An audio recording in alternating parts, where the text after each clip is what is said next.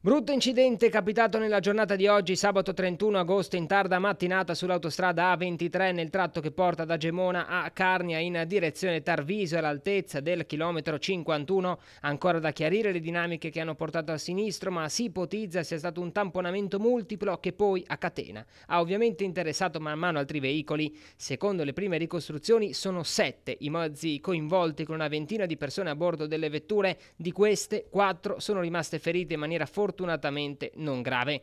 La centrale operativa regionale Sores FVG ha dirottato sul posto tutti gli equipaggi e i velivoli disponibili con l'autostrada che è rimasta chiusa al traffico per un paio d'ore con una coda che ha raggiunto gli 8 km. Poi, poco dopo le 14, l'incidente è stato risolto con Autostrade per l'Italia che ha sottolineato come ormai si circoli normalmente su entrambe le corsie. Disagi ovviamente per tutte le persone coinvolte, soprattutto i turisti austriaci e tedeschi, dal momento che tutti i mezzi coinvolti nell'incidente sono inutilizzabili.